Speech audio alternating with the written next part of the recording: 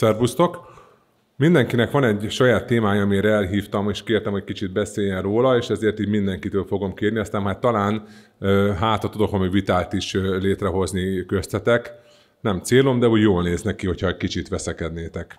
Tibor, ad, ad is kérlek oda, a, hogy menjünk, menjünk egy kicsit sorba. Az Ákosnak akár igen. Ákos itt többször felmerült már a téma a központi szellőzésekkel kapcsolatban. Egy kicsit ilyen alapokról mesél nekünk, légy szíves, hogy a központi szellőzés, az, az van-e helye egy rezsikonferencián, az nem egy valami plusz extra dolog, ami csak még több áramot fogyaszt, ahelyett, hogy így kényelmesen kinyitnánk az ablakot? Nagyon szépen köszönöm a kérdést, én is üdvözlök minden résztvevőt. Sapon Ákos vagyok, a Helios ventilátorok képviseletétől. A provokatív a kérdésed, és te is tudod a választ, hogy abszolút itt van a helyünk.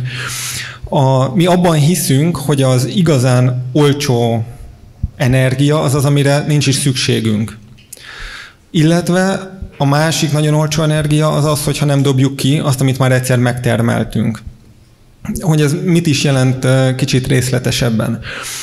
Egyrészt, hogyha a szellőzést, szellőztetést azt gépekre, automata eszközökre bízzuk, akkor egészen biztos, hogy az épület minősége, állaga ö, megmarad, azaz nem kezd el penészesedni, nem ö, jelenik meg víz a fal szerkezetben. Egészen biztosan a mi egészségünk is biztonságban lesz, hiszen jutunk elég friss levegőhöz, de mindig csak annyihoz, amennyire szükségünk van, és mindig csak annyi ö, megtermelt energiát, meleg levegőt dobunk ki, amennyi feltétlen szükséges. Ugye ez egy normál, hagyományos szellőztetés. A másik irány az ugye, hogyha a hővisszenyelős szellőztetések irányába megyünk el, ott pedig már ki se dobjuk azt a hőt, amit megtermeltünk, illetve csak egy nagyon-nagyon pici százalékát, hiszen, ahogy itt korábban is elhangzott, ezek a hővisszenyelős szellőztetések ma már 80 százalék fölötti hatásfokkal tudnak működni. Tehát a megtermelt energiánknak a 80 százalékát vissza tudjuk nyerni, amit ugye a szellőztetésre fordítanánk. Ez a számok tekintetében egyébként azt jelenti, hogy nagyjából a szellőztetésre fordított energiaigény az felezhető. Ami azért ugye nagyon nagy szám, ugye Istvánnak az előadásában azt hallottuk, hogy a teljes épület ö, energiaigényének 40%-a az a szellőztetésre megy el. Most ennek a felét legalább meg tudjuk takarítani egy hővisszanyerő szellőztetővel. Neked nagyon-nagyon sok kérdésem van hozzá, de majd vissza fogok térni, hogy a, hogy a, a többieket is tudjam szóhoz jutatni.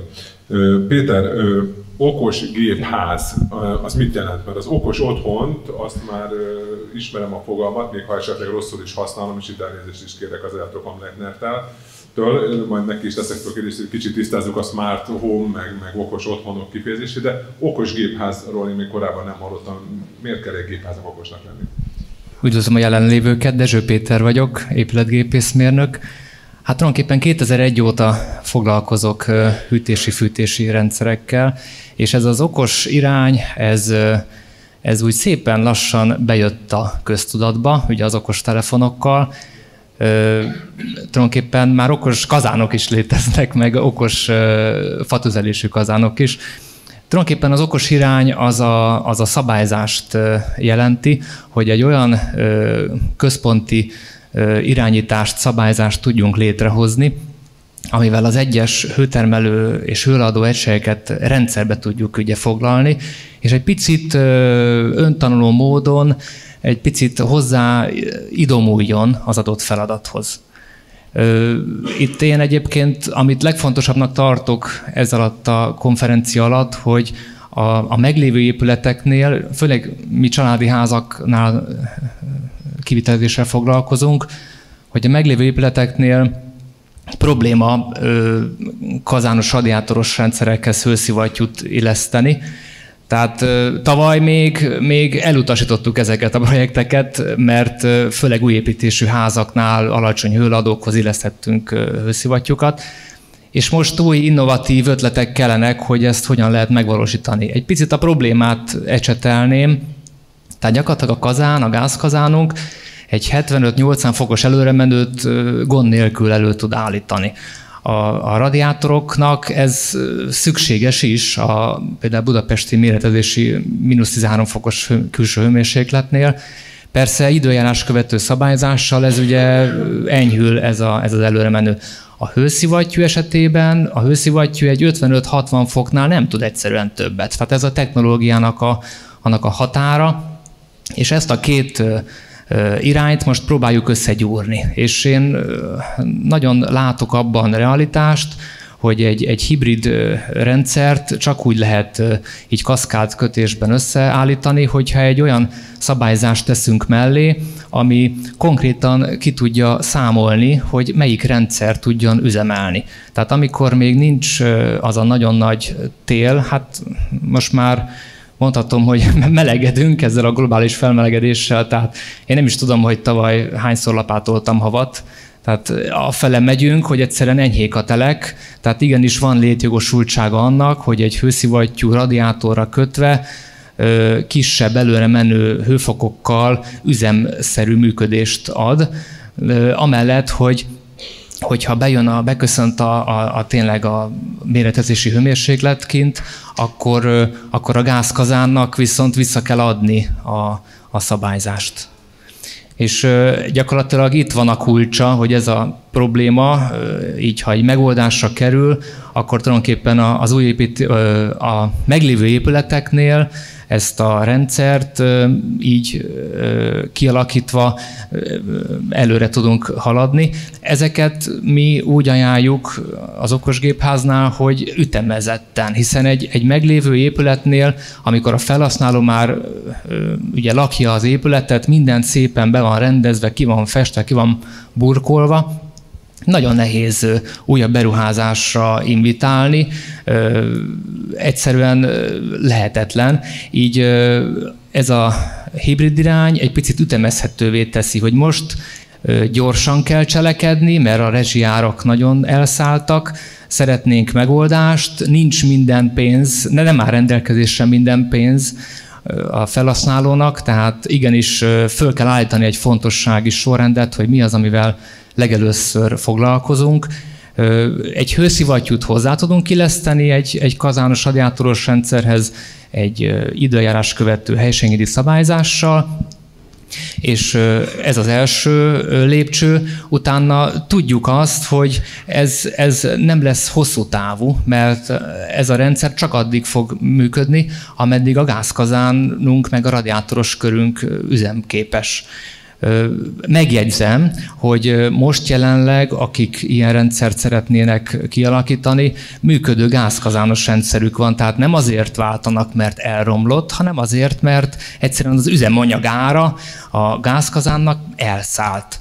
És most ez a legjobb irány, hogy hőszivattyú, hőszivattyú is üzemelhet a, a házon, és későbbre ütemezzük azt, hogy a hőleadókat próbáljuk meg lecserélni. Amikor majd eltelik egy öt, kinek mennyi, hát nem tudom, hogy a gázkazán az adott projektnél mennyi idős, eltelik 5 6-7 év, utána a gázkazán egyszerűen elromlik, akkor utána lehetősége van a, a, a felhasználónak, hogy alacsony hőleadókat építsen be, nagyon ugye közkedvelt ugye a padlófűtés, mondjuk a, a padlóhoz fog legutoljára hozzányúlni a, a, a felhasználónk, mert a burkolatok nagyon drágák, inkább előbb a mennyezeti hűtési-fűtési rendszer a kedveltebb, és ez ebben a témakörben ilyen felújítási projekteknél két változat is van. Van ez a vakolható, meg az álmennyezetes rendszer. A vakolható 3 cm-t vesz el a belmagasságból, tekintve, hogy vakolhat, vakolásról beszélünk, eléggé koszos munka, de létezik ez a száraz technológiás álmennyezetes rendszer is, ami meg egy olyan 6-7 centit vesz el a belmagasságból, ezzel viszont már ugye hűthetünk is, tehát ki tudjuk haknázni azt, hogy egy hőszivattyút rákötöttünk korábban egy radiátorra, azzal ugye csak fűteni tudtunk, de hogyha esetleg tudunk egy hőladót is változtatni, akkor már akkor már azzal ugye hűthetünk is. És az a szabályzó, nálunk az okos gépháznál szabadon programozható a termék, tehát lehet az elején úgy beállítani, úgy programozni a logikai kapcsolatokat, úgy létrehozni, hogy az a gázkazánnal összhangba tudjon működni a felhasználónak tudjuk biztosítani, hogy mikor kapcsoljon át, kére automata átkapcsolást, mennyire erőltessük a hőszivattyú üzemet, mennyire erőltessük a, a gázkazán üzemét, mindig a piaci árnak megfelelően tudja beszabályozni, és később, amikor ezt fejleszti, akkor azt a szabályzót nem kell kidobni, hanem ez egy szabadon programozható termék, át lehet programozni az éppen aktuális felhasználási területre. Tehát, ha jól értem, így összegezve ezt a bemutatkozó prezentációt, hogy azt mondod, hogy ha valaki egy meglévő fűtési rendszerből át akar állni hőszivattyúsra, akkor nem kell rögtön szétverni az egész házat és több millió fontot rá költeni, hanem egy fontossági ütemezésben, több lépcsőben az anyagi lehetőségnek megfelelően először csak hibrid rendszer, az egy ilyen lépcsőfok és egy átmenet, hogy menjünk át hibridbe, csak fűtsünk, aztán később, amikor a hőleadókat is tudjuk cserélni, akkor mehet egy hűtő fűtős, és utána később is elém lekapcsolni a kazán. Tehát te nem szüntetnéd meg a régi rendszert, hanem egy hibrid megoldást javasolsz átmenetnek. Ha jól foglaltam össze egy mondatba. Hát tulajdonképpen megszüntetni semmiképpen, hiszen működő rendszer áll a, a rendelke. Új építő, hogy félreértés ne essék, amikor egy új házat építünk, akkor eszünkbe se jut ilyen hibrid rendszer, mert, mert két sofőrt nem teszünk be egy autóba, de amikor ott van a, a működő gázkazános radiátoros rendszerünk, miért ne aknázzuk ki, segít nekünk, időt hagy, hogy, hogy az ügyfél jól tudjon dönteni, mert most ne, senki nem tud jól dönteni. A megtérülések is napi szinten változhatnak, ahogy, a, ahogy az árak is változnak.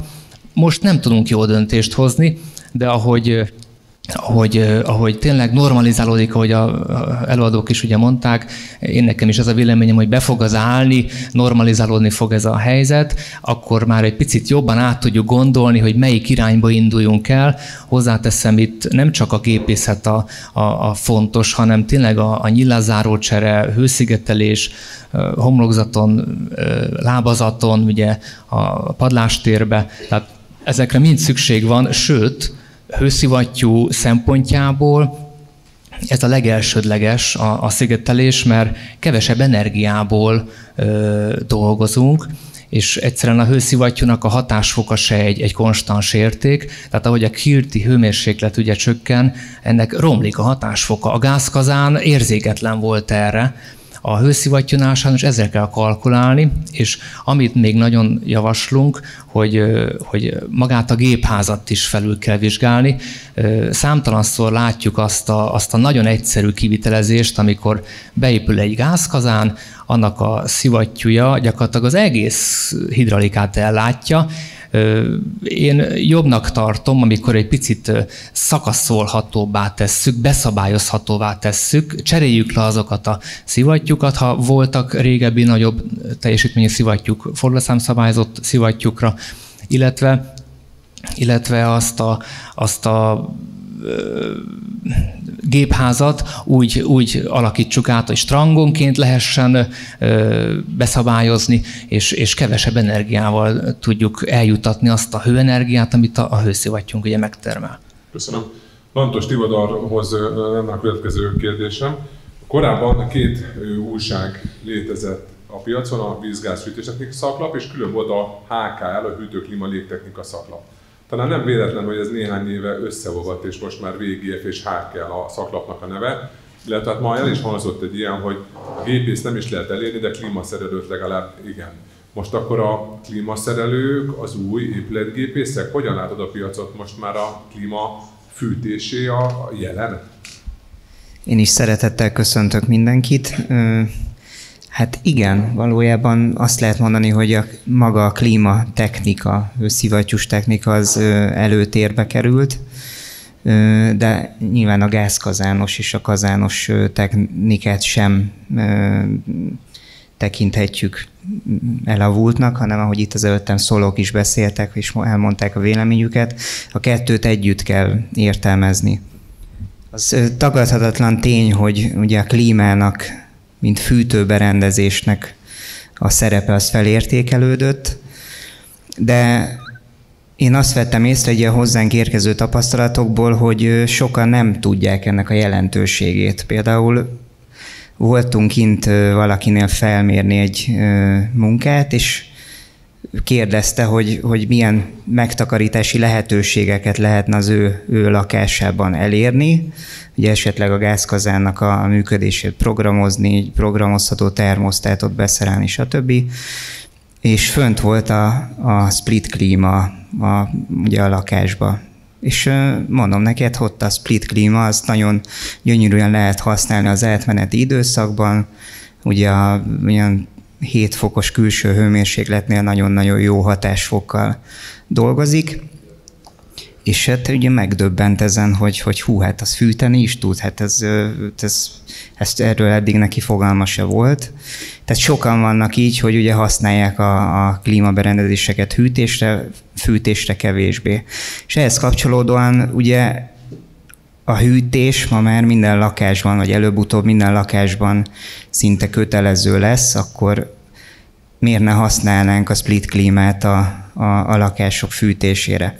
Most ehhez azt azért tudni kell, hogy ez egy némi kompromisszumot igényel, illetve ki kell azért próbálni, hogy milyen egy ö, klímával fűtött lakásban lenni. Ugye más a hőérzet, talán van egy kis ugye egy kis szélteher néha, tehát fúj, mondhatjuk így. Ezeket a telepítésnél kellene figyelembe venni a telepítést végző szakembereknek, hogy a megfelelő komfortot biztosítsák ezek a készülékek. Kicsit segíts nekem, mert én is néha elbizonytalanodom, hogy mostanában már nem is klímának nevezzük, hanem levegős hőszivattyúnak. Minden klíma levegős hőszivattyú? Igen, tulajdonképpen ez egy levegő, levegő hőszivattyú. Lehet azt rámondani, egy, egy kis kisebb teljesítményű, ugye ezek, hát mondjuk ebbe is van azért elég nagy teljesítményű, és hát gondoljunk itt a, a multisplit klímákra, azok azért vannak abból 10 kW-os készülékek is, de ugye általában két és fél, három és fél kilowatt az, amit átlagban a, a családi házakban használnak. Itt még az előttem szólóhoz annyit mondanék, hogy az nagyon jó, hogy a régi rendszereket megtartani, és ez szóba került, hogy, hogy a régi rendszereknek a, a, mm, a megtartása. Sokszor van az például konvektoros családi vagy lakásokban, hogy kiveszik a felhasználók a konvektort, föltesznek split klímát, azt gondolják, hogy azzal majd megoldják a, a a fűtésüket, és utólag derül az ki, hogy ez mégsem olyan, amit ők vártak, nem olyan a komfortérzete, esetleg a fogyasztásba sem mindig azt várják, amit, amit kellene. Tehát érdemes a két rendszert együtt megtartani. A konvektorokat is, amikor annak van itt az ideje, mondjuk a, ugye az alacsonyabb hőmérsékleteken, nulla fok alatt azzal fűteni, a ugye nulla fok fölötti hőmérség, külső hőmérsékleteknél pedig akkor a split klímákat használni. Én amit láttam a klímák elterjedésében egy nagy boomot, az, és összefügg az épületgépészettel, az 2016-ban, amikor a úgynevezett ERP megjelent Magyarországon, és korlátozták a hagyományos nyílt gázkészüléknek a telepítését, illetve a forgalomba helyezését, akkor nagyon sok, Budapesten és nagyon sok házban egyszerűen ellehetetlenítették jogilag azt, hogy gázkészlőket használjunk, egyszerűen az égéstermék elvezetést nem lehetett megoldani, és nagyon sok házban, irodában, üzletben láttam, hogy klímával kezdtek el fűteni. Ha fölmegyek a ingatlan kereső, ingatlan kereső oldalra, egyszerűen látom, hogy, hogy Budapesten hány elektromos fűtéssel megjelölt lakás lett hirtelen, ahol korábban konvektor vagy gázkészülék volt, tehát egy óriási boom volt. Most pedig úgy látom, hogy megint ezek a, nevezük akkor így jobban hangzik, levegő, levegő hőszivattyúk terjedése, és az egyik okában pedig én azt látom az energia árak emelkedése mellett, hogy van egy, van egy kis kapu, ez a hátarifa. Hogy háttarifára, hogyha hőszivattyút teszek, akkor az egy most egy alternatív jó megoldás, ami egy sokkal kedvezőbb elektromos árral versenyezhet a, a gázzal szemben is.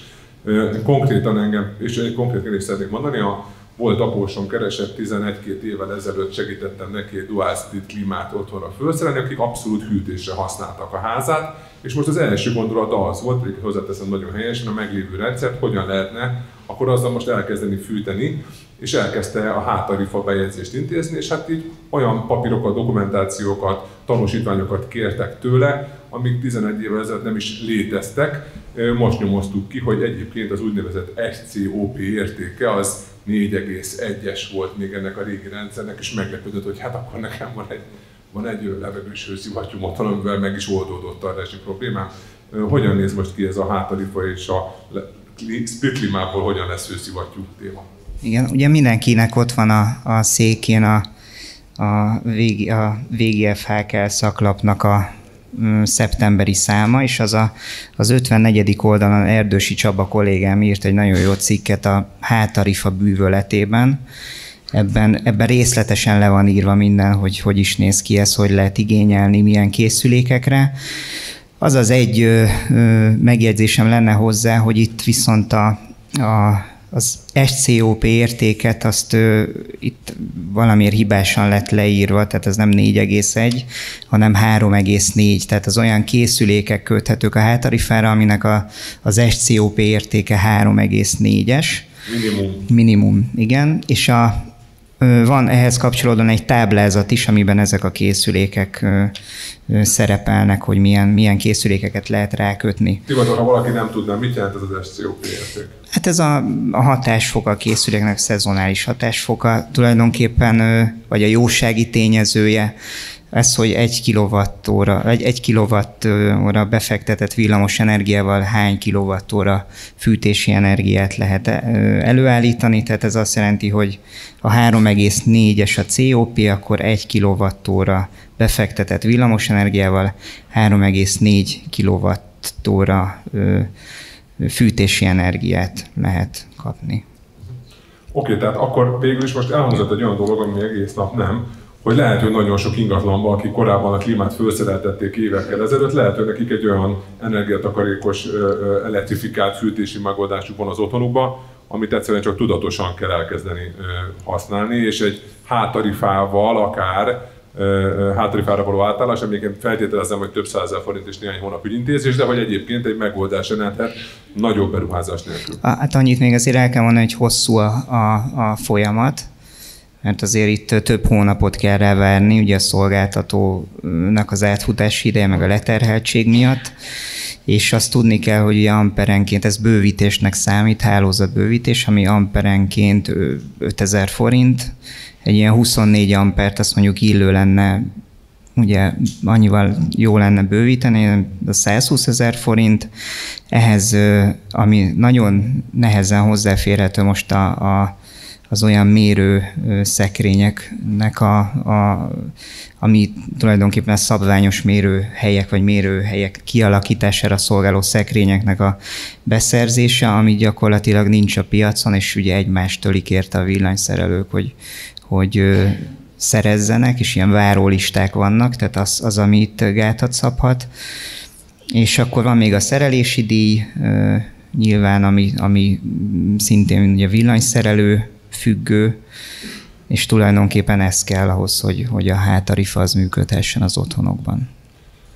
Akkor mindenkihez még egy, egy kérdés nekem ezzel a központi szellőzéssel vannak ilyen felhasználói szokásbeli kérdésem, hogy vajon az emberek értik-e ezt a központi szellőzést, de emlékszem, hogy a Nagyorsomnál télen a panelházban ott ez, ez úgy történt, a hőmérséklet szabályzási szellőztetéssel történt. Tehát jött a távfűtés, akkor meleg volt, kinyitotta az ablakot, és akkor néhány órán keresztül ez kellemes kis levegő is volt, meg ki is ment az a nagy meleg, amit a távfűtés okozott.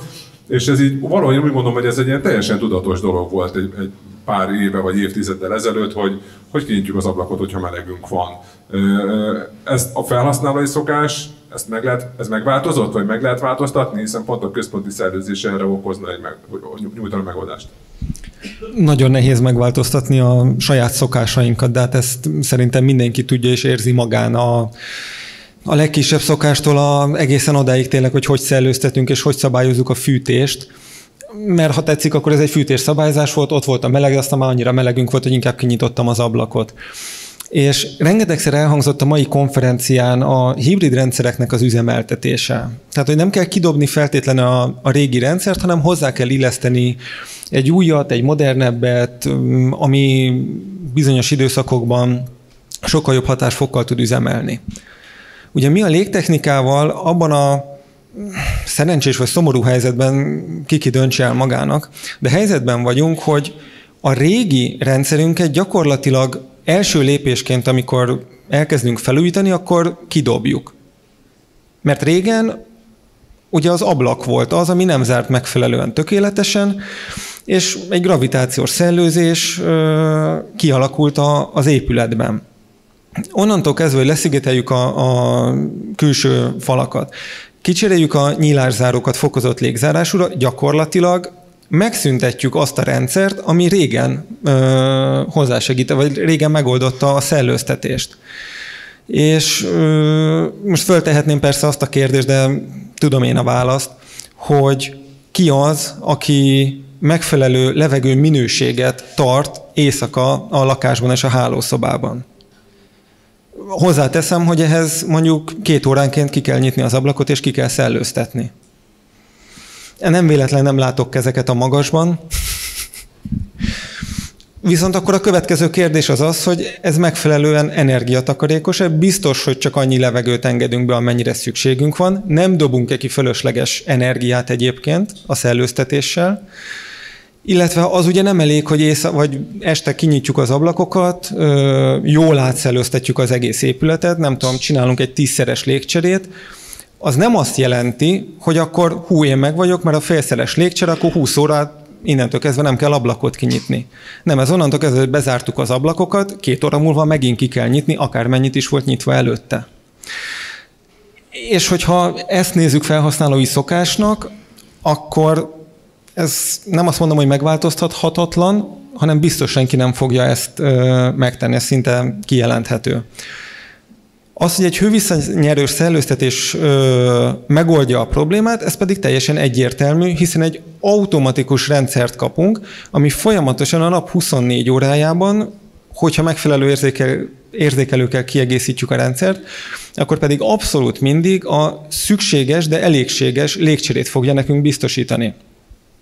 Azaz nem kell nekünk azon gondolkozni, hogy hú, most elkezdtük használni a fürdőszobát intenzíven, in, intenzíven, fürdőznek a gyerekek, vagy a nem tudom, feleségem éppen gőzfürdőt tart a kádban, és akkor jaj, most milyen intenzív szellőzést kell biztosítani, meg hú, de ki kell nyitni az ablakokat, hanem egyszerűen a fürdőszobába elhelyezett páratartalom érzékel, az felismeri a tevékenységet, és azt mondja, hogy hopp, akkor följebb kapcsolom a szellőzési fokozatot, és mindez csak addig hagyja magasabb fokozaton, ameddig szükség van rá. Ahogy normál szintre visszamegy a páratartalom, ő visszaáll a normál szintű szellőztetésre. Én a kezdtek óta az első felkonferálás a, a, a konferenciának erre utalt, és itt akarom igazából berúgni ezt a gólt, hogy azt mondom, hogy a felhasználói szokásokat változtassuk meg, és hogy ez a leggyorsabb, leghatékonyabb rendszer.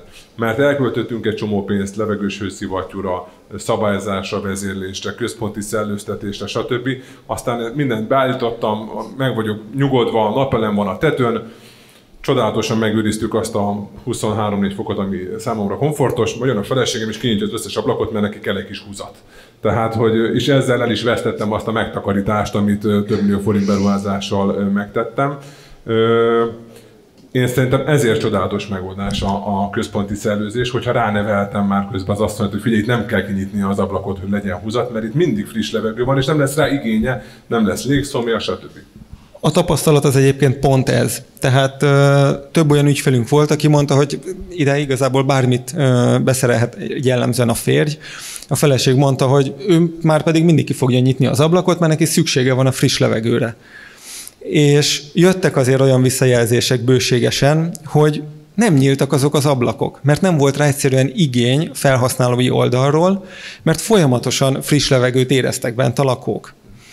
Tehát ez abszolút így van. Mindemellett én el szoktam mondani azt is, hogy egy hőviszonyerős szellőztető mellett nem muszájból nyitunk ablakot, hanem lehetőségből. Mert teljesen egyértelmű, hogy egy téli időszak után, amikor jön a tavasz, nyílnak a virágok, kint már van, nem tudom, 20 fok, és szeretnénk azt a tavaszillatot beengedni, akkor én is azt mondom családi házban, hogy már pedig ki kell nyitni az ablakot, és be kell engedni azt a finom tavaszillatot, de hogyha lakik már a lakásban egy allergiás, akkor nyugodtan be lehet csukni, be lehet tenni a pollenszűrőt a rendszerekbe, és senkinek nem lesz kellemetlen a beltérben való élet. Egy utolsó nagyon gyors villámkérdés csak. Központi szellőzés nagyon jól hangzik egy új építésű háznál, de mi van azzal, aki egy társasházban, egy régi lakásban van neki, nyújthat egy megtakarítást az, hogy nem engedi ki a megtakarított meleg levegőjét? Van erre technikai műszaki megoldás? Ez mindenhol segítséget nyújthat, teljesen egyértelmű.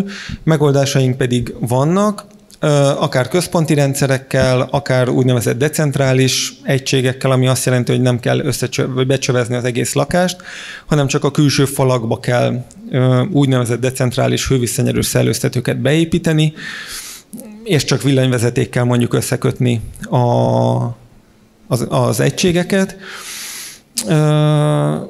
és ugyanezt el tudjuk egyébként érni, hogyha most nem lakásról, hanem mondjuk akár egy iskoláról és tanteremről beszélünk, mert ugye az is szóba került azért a mai nap folyamán.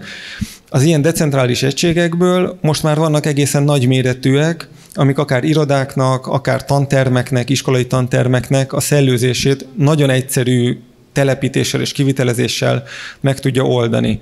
Itt is arra kell gondolni, hogy van egy készülék, amit föl kell szerelni egy olyan falra, aminek van külső ö, kapcsolat, tehát külkapcsolata. Két lukat kell, két faláttörést kell ö, megcsinálni, és gyakorlatilag kész van egy hővisszanyerős szellőztetés egy iskolai tanterembe.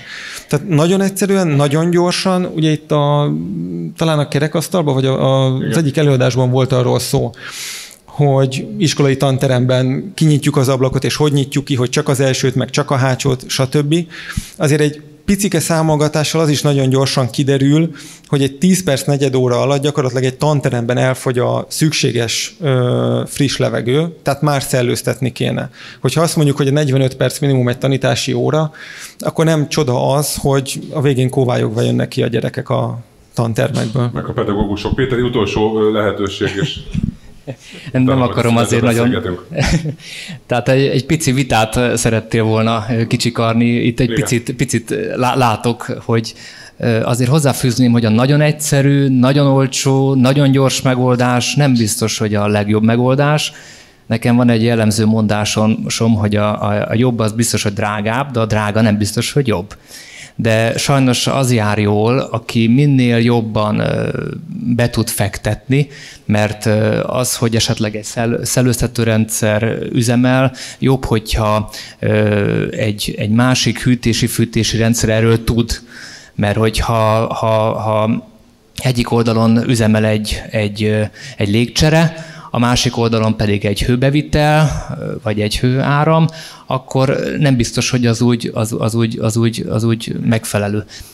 Mi szoktuk eznél az okos gépház szabadon programozható szabályzásnál integrálni ezeket a rendszereket. Tehát ha mondjuk napkollektor van, akkor egész addig a hőtermelők nem fűthetik ki azt a HMV tartályt, vagy puffer tartályt, amíg a napocska fönt mosolyog, tehát gyakorlatilag időt adunk, hogy, hogy azok a rendszerek is tudjanak működni, de, de ez, ez arra is vonatkozik, hogy például a, a hőszivattyúnak ugye már beszéltünk, hogy éjszaka rosszabb a hatásfoka. Tehát mi nagyon javasoljuk a puffer tartály alkalmazását például, mert itt lehetőség van arra, hogy betároljunk, és ez nagyon komoly összhangba lehet egy helyesen szabályzással, ahol egyébként is a felhasználónak a, a napi rendjéhez igazítjuk a, a, a rendszerét, a hűtési-fűtés rendszerét, hogy éjszaka hidegebbet tartunk, ő beállíthatja, hogy melyik helység a, a, a gyenge láncem, tehát mi az, amit, amit, a, amit nem baj, ha esetleg nem fűtünk túl, és ezzel a puffer tartályjal igazából az éjszakai üzemeket tudjuk áthidalni úgy, hogy a hőszivattyú ebbe a, ebbe a hidegebb, rosszabb hatásfokkal ne akarjon beindulni, nem beszélve az ajterelésről. Mert azért erről még nem beszéltünk, hogy a hőszivattyú bizony egy kültéri egységgel dübörög odakin, amit a szomszéd nem szeret hallgatni, Úgy gondolom, hogy a végtelenségig lehet fokozni itt a pro-kontra érveket, és tényleg már most a zaj terhelésben már ne, ne is menjünk el, mert nem ad rá lehetőséget. Én köszönöm szépen, hogy elfogadtátok a kerekasztal beszélgetést.